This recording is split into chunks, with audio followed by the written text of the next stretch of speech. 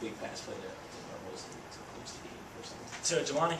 or to Jelani. Right. Oh, it was, you know, it was a great play. Some, some may say it was a gutsy call, but it was a call I liked.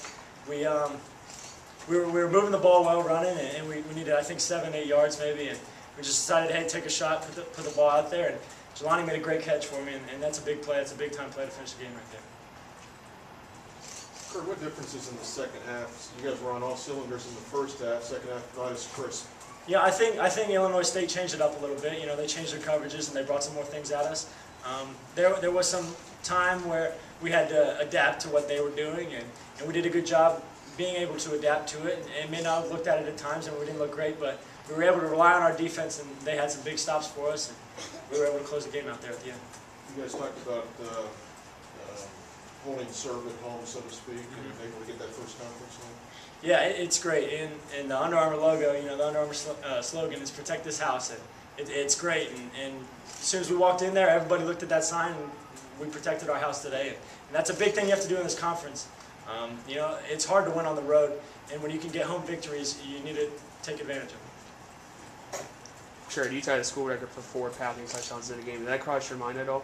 Uh, no, it actually didn't. I, I didn't know what the record is. Um, those programs that we get handed to, uh, I look at them from time to time. I don't see much of the records, but I was just glad to get in the end zone four times and, and give our team the lead, and uh, eventually, you know, score more points than they did. Kurt, what what did you learn about the team this afternoon? About our team, Yes, sir. we uh, we can stick together, and we when we stick together, we, we do a great job, and we're we're definitely uh, hard train to stop. Uh, defense played great in the second half, and offensively we had it going in the, in the beginning. Um, so when, when we, we complemented each other well, and I, I think when we you know play like that, it's going to be tough to stop us.